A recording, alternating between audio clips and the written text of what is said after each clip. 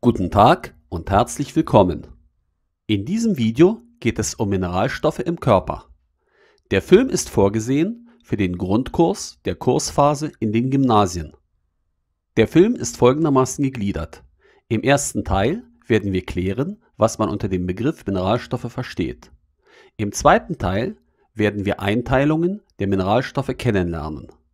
Im dritten Teil werden wir uns über Mengenelemente unterhalten im vierten Teil über Spurenelemente und im fünften Teil werde ich euch eine Zusammenfassung vorstellen. Erstens, was sind Mineralstoffe? Vielleicht diese? Worum handelt es sich hier denn? Das hier sind Minerale. Ein Beispiel für einen Mineralstoff ist unser bewährtes und lebensnotwendiges Kochsalz. Oder auch dieses weiße Pulver ist ein Mineralstoff. Hierbei handelt es sich um Calciumcarbonat. Kochsalz hat die chemische Formel NaCl, Natriumchlorid. Calciumcarbonat hat die chemische Formel CaCO.